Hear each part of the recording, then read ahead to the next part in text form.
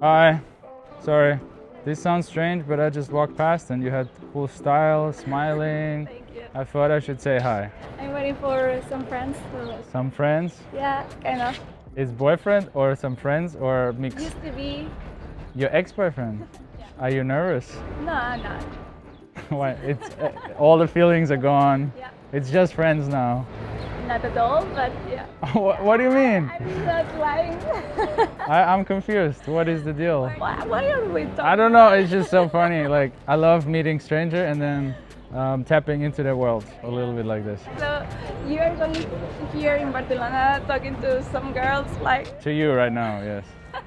When I was in my early 20s, I didn't really go out at all. So I was never in clubs, I was never in bars. And that way, the only times to meet women was in class, which was usually a more of a friendly setting, and at house parties. I remember I was invited to that house party by, you know, school colleagues of mine, and I knew that there would be this girl there and it was in Vienna. So okay, the Saturday night comes up. I'm wondering, okay, what should I dress like? Not that I would have a sense of style back then, anyway.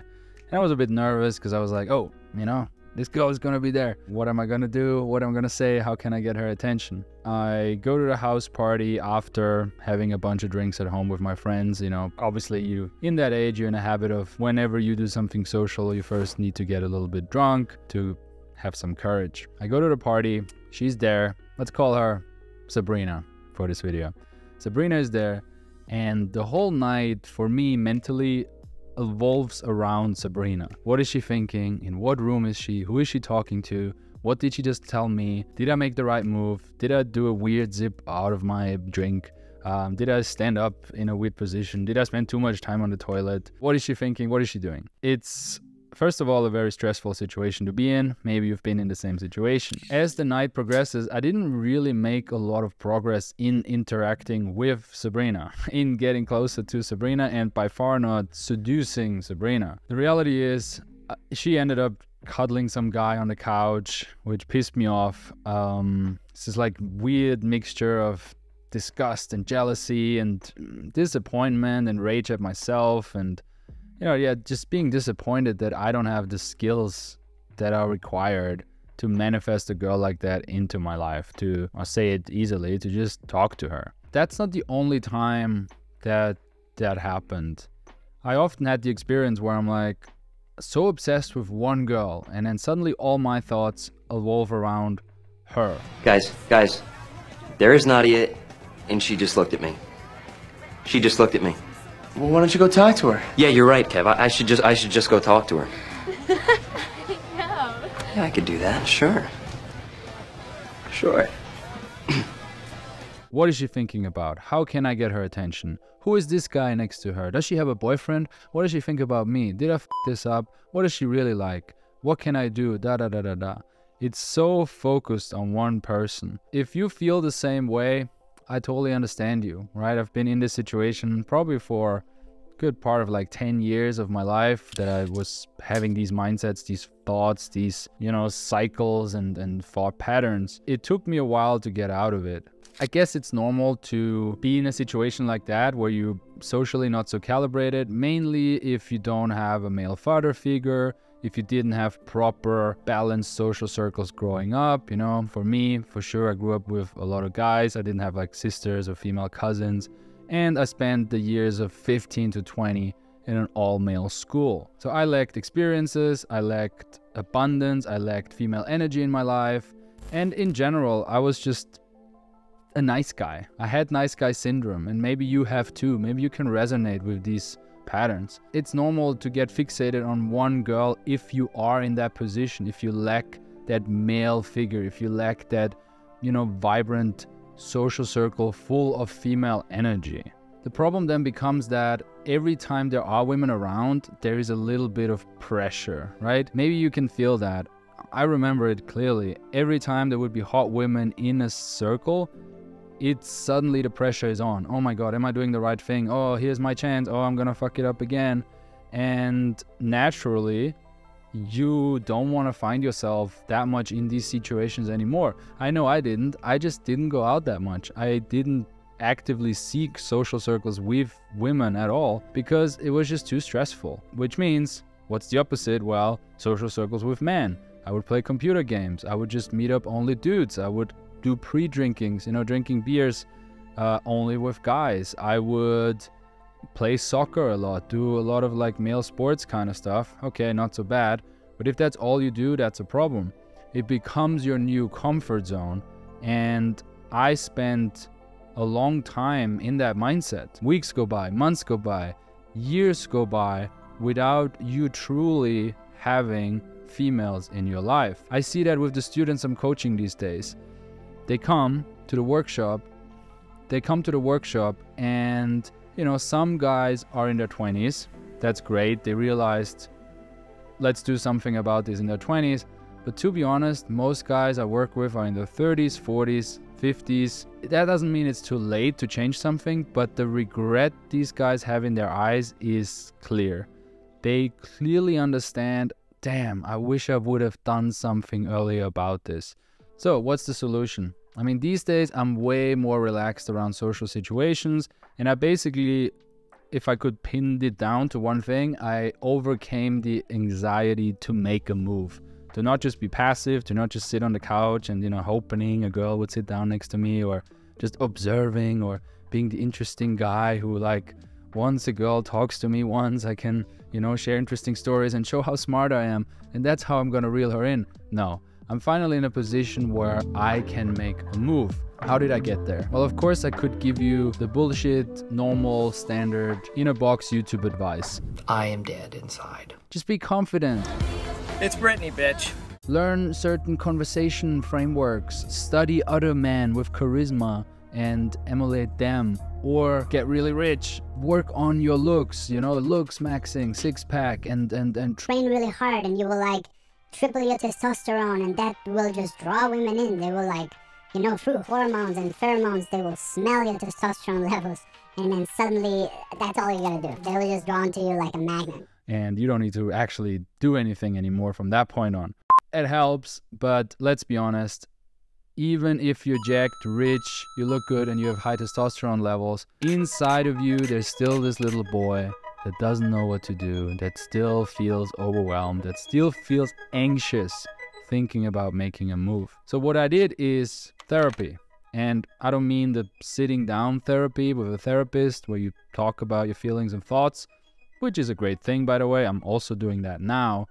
But back then, I did shock therapy, action therapy, which basically means I started talking to them. And it wasn't easy. I needed support, I needed a brotherhood, I needed mentors to do it.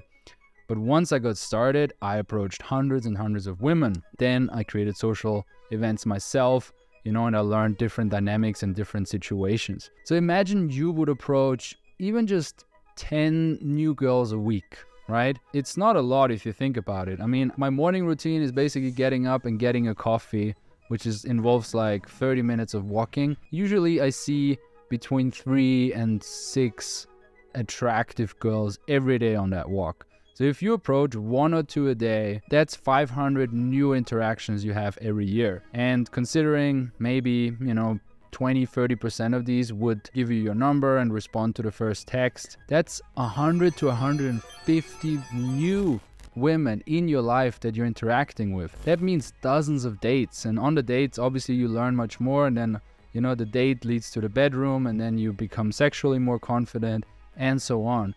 Imagine what that would do to your social life. Imagine having that level of access suddenly. How much would you have to swipe on Tinder to go on like 27 dates? You know, it's like insane. i am using Tinder occasionally when I arrive in a new country. And, you know, I think I have good pictures. I'm not a bad looking guy. I have a cool lifestyle. And I'm still getting dog shit results on Tinder versus me just getting my coffee, saying hi to two girls on the way, telling them they're beautiful, and you know, getting a little bit into a conversation and then closing their Instagram or WhatsApp, I'm getting way better results. And and let's keep the results aside for a bit. Mainly it changes the energy that I have around women and that you can too. They can sense the abundance. They can sense that you're more comfortable, that you talked to a bunch of girls and that you're not as needy. Being needy is really not attractive to any women for that part. This is actually then how you overcome that also anxiety to make a move, right? You're gonna be more relaxed in the moment, you're gonna have more experience, which makes you more confident, which makes you care less if you do get laid on, I don't know, that particular house party, or if you gonna have something with that one particular girl, which paradoxically makes it way more likely that you will have success with that one girl. And if you build that foundation of having the experience of approaching a lot of women, having the confidence to walk up to someone, being able to have an interesting conversation. You know, obviously, like a cold approach on the street during daylight involves a bunch of things social freedom, communication skills. You've got some balls, you know, being able to like close a girl, get her number, then text a little bit. So, obviously, there's a bunch of skills combined in there. Let's call that the base. On that, you can build. So, what I did is as I mentioned, I started creating my own house parties. Suddenly I'm the leader, right? Which already puts me in a different position. Then I thought, okay, I am charming one on one now, and I am charming one in a party setting. But what about online? All these girls are swiping online all day long. They spend hours on Instagram. Not just these girls, you know, like people in general. People spend time on their phones, yes. Oh my god. I should be online. I should be in their phones through my social media profile.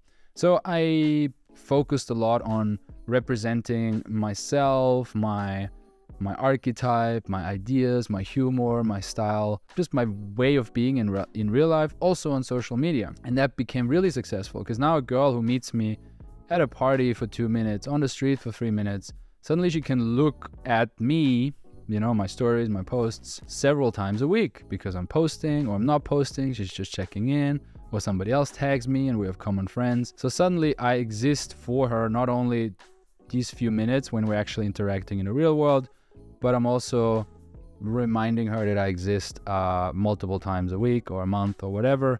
And then the next time we see each other in real life, there's more familiarity again. She knows me, she feels comfortable with me, and I can escalate things way easier and faster. So, this is kind of like a trifactor of cold approach, meeting people, uh, creating social events, being social in general, being you know the guy who makes shit happen in that and a strong social media profile it literally like 100 x's your dating. There's some things to think about. Let me know. That's just a few ideas i wanted to share. Keep in mind you are just one approach away from something magical happening in your life there is opportunity out there. I see it every day. Every day when I get my coffee, I'm like, there's a cute girl. And she probably would like me to approach her because I've proved it over and over again. And I've proved it over and over again with the students I'm coaching. You know, in cities like Budapest, Barcelona, New York, the cities where I'm doing one on one workshops, there's thousands of girls out there who want to be approached in a strong, respectful way. They love it. I'm hearing it on the microphones over and over again. So, opportunities out there, and it's for you to decide to take action. If you like this topic, I have a whole book on the five elements of dating success where I'm going more into depth about what does actually work with women, what they actually like, what you should focus on if you want to have a more successful dating life. So, if you want to read about that, it's free currently for free. I don't know if it's for free forever. You can click below. And yeah, let me know what you think. See you in the next one.